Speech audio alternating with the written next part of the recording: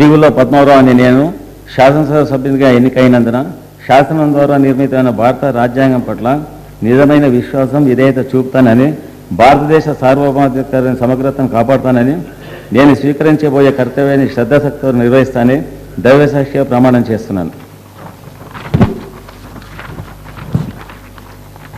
తెలంగాణ శాసనసభ సభ్యుడైన తీవుల పద్మారావు అని నేను సభ నియమాలకు కట్టుబడి ఉంటానని వాటిని అనుసరిస్తానని సభ మర్యాదలను పాటిస్తానని సాంప్రదాయాలను గౌరవిస్తానని దైవసాక్షిగా ప్రమాణం చేస్తున్నారు.